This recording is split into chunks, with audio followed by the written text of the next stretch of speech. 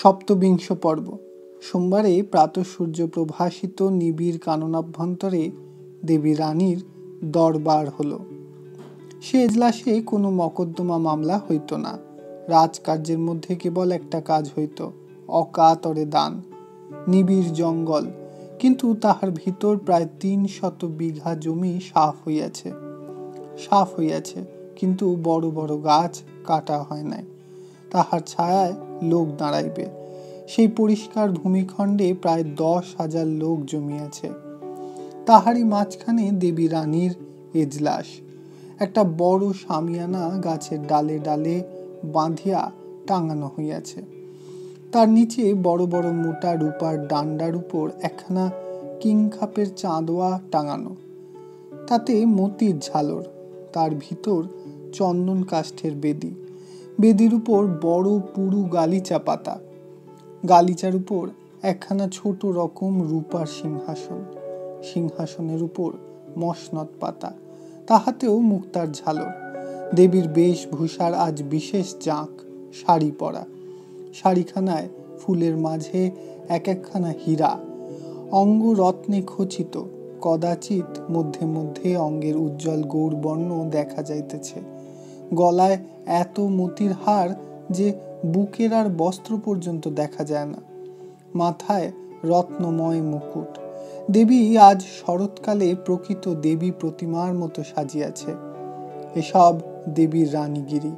দুই পাশে চারিজন সুসজ্জিতা যুবতী স্বর্ণদণ্ড চামর লইয়া বাতাস দিতেছে।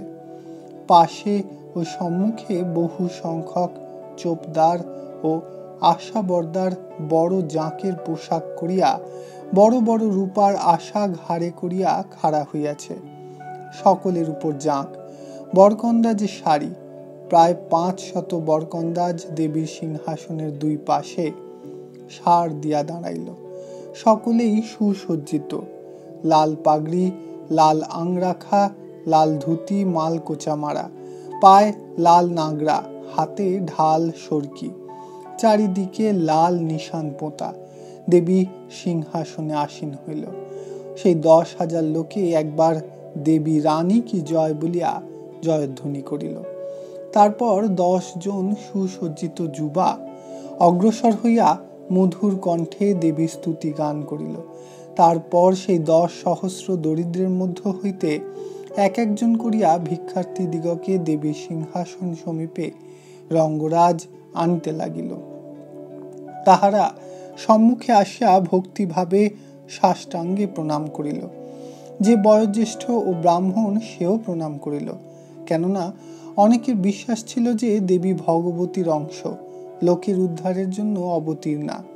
সেই জন্য কেহ কখনো তার সন্ধান ইংরেজের নিকট বলিত না, অথবা তাহার গ্রেপ্তারির সহায়তা করিত না। দেবী সকলকে মধুর ভাষায় সম্বোধন করিয়া তাহাদের নিজ নিজ অবস্থার পরিচয় লইলেন। পরিচয় লইয়া যাহার যেমন অবস্থা, তাহাকে সেই রূপ দান করিতে লাগিলেন। নিকটে টাকা, পোড়া, ঘড়া সব সাজানো ছিল। এইরূপ প্রাতকাল হইতে সন্ধ্যা পর্যন্ত দেবী দরিদ্রগণকে দান করিলেন। সন্ধ্যা অতীত হইয়া এক প্রহর রাত্রি হইল, তখন দান শেষ হইল। তখনও পর্যন্ত দেবী জলগ্রহণ করেন নাই। দেবীর ডাকাইতি এইরূপ, অন্য ডাকাইতি নয়। কিছুদিন মধ্যে রঙ্গপুরে গুডল্যাট সাহেবের কাছে সংবাদ পৌঁছিল যে বৈকুণ্ঠপুরের জঙ্গল মধ্যে দেবী চৌধুরানীর ডাকাইতের দল জমায়েতবস্ত হইয়াছে। ডাকাইতের সংখ্যা নাই। ইহাও রটিল যে অনেক ডাকাইত রাশি রাশি অর্থ লইয়া ঘরে ফিরিয়া আসিতেছে। অতএব তাহারা অনেক ডাকাইতি করিয়াছে সন্দেহ নাই।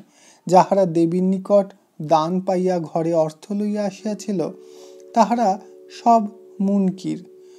বলে, টাকা কোথা? ইহার কারণ ভয় আছে। টাকার কথা শুনিলেই ইজারাদারের পাইক সব কাড়িয়া লইয়া যাইবে। অথচ তাহারা খরচপত্র করিতে লাগিল। সুতরাং সকল লোকেরই বিশ্বাস হইল যে, দেবী চৌধুরানী এবার ভারী রকম লুঠিতেছে ইতি দেবী চৌধুরানী উপন্যাসের সপ্তবিংশ পর্ব সমাপ্ত হইল। ধন্যবাদ।